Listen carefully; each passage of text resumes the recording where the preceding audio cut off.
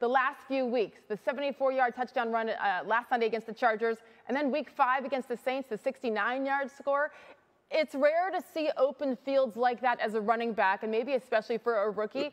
I've never been there. What does that feel like? Uh, it's it's great. And, you know, being in this position, it's a blessing. Uh, but you know, I always give credit to the O line, the wide receivers, and the tight ends, because those are the guys that block for me and make my uh, my job a lot easier. If you go back and see the film, uh, those guys are working just as hard.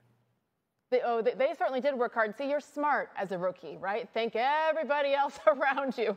Um, the 74 yarder last Sunday was really impressive because of the speed. I know we've talked about this. You've heard about 22.05 miles an hour, the fastest top speed of any ball carrier this season. So I want you to compare your speed to other players like maybe Tyreek Hill.